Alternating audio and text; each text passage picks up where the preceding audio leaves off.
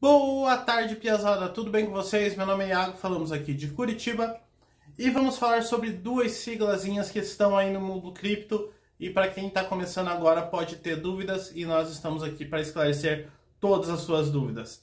A minha missão é que todo vídeo você aprenda uma coisa nova, que cada vídeo você fique uh, mais inteligente, mais sabido para você virar um sabão, porque quem sabe muito é um sabão.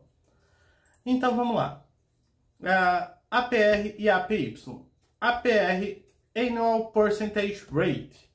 APY, Annual Percentage Yield.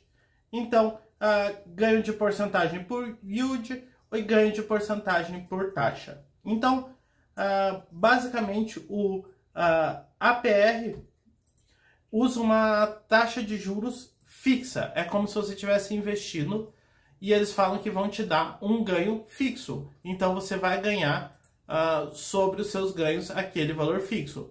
Ah, 10% APR, 5% APR, 20% APR. Esse vai ser o ganho fixo.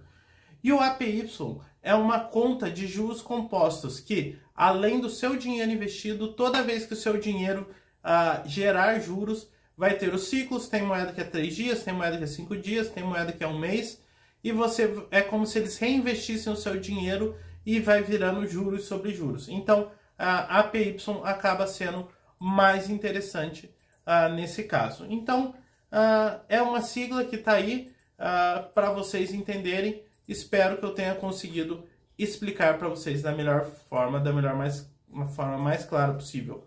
Videozinho simples, videozinho curto, sem muita enrolação, beleza?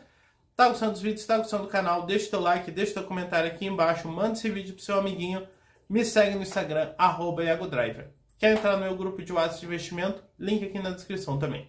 Valeu, tchau, tchau.